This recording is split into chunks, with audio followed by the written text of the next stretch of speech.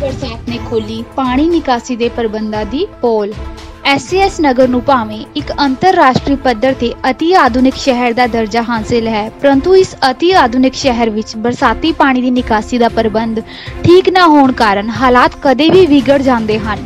ਅੱਜ ਬਾਅਦ ਦੁਪਹਿਰ ਪਏ ਅੱਧੇ ਘੰਟੇ ਦੇ ਮੀਂਹ ਨੇ ਬਰਸਾਤੀ ਪਾਣੀ ਦੀ ਨਿਕਾਸੀ ਦੇ ਪ੍ਰਬੰਧਾਂ ਦੀ ਪੋਲ ਖੋਲ ਕੇ ਰੱਖ ਦਿੱਤੀ। ਇਸ ਦੌਰਾਨ ਸੈਕਟਰ 69 ਅਤੇ 70 ਨੂੰ ਵੰਡਣ ਵਾਲੀ ਮੁੱਖ ਸੜਕ ਜੋ ਫੇਸ 7 ਤੋਂ ਸੋਹਾਣਾ ਵੱਲ ਜਾਂਦੀ ਹੈ ਤੇ ਦੋਵੇਂ ਪਾਸੇ ਪੌਣਾ ਤੋਂ 1 ਫੁੱਟ ਤੱਕ ਪਾਣੀ ਖੜਾ ਹੋ ਗਿਆ, ਜਿਸ ਕਾਰਨ ਆਵਾਜਾਈ ਬੁਰੀ ਤਰ੍ਹਾਂ ਪ੍ਰਭਾਵਿਤ ਹੋਈ। ਅੰਦਾਜ਼ਾ ਲਗਾਇਆ ਜਾ ਸਕਦਾ ਹੈ ਕਿ ਜੇਕਰ ਥੋੜੀ ਜਿਹੀ ਬਰਸਾਤ ਨਾਲ ਹੀ ਇਹ ਹਾਲ ਹੋ ਸਕਦਾ ਹੈ, ਤਾਂ ਆਉਣ ਵਾਲੇ ਸਮੇਂ ਦੌਰਾਨ ਇੱਥੇ ਹਾਲਾਤ ਕਿਹੋ ਜਿਹੇ ਹੋਣਗੇ? ਐਸਐਸ ਨਗਰ ਤੋਂ ਸਕਾਈ ਹੱਕ ਟਾਈਮਜ਼ ਦੀ ਰਿਪੋਰਟ।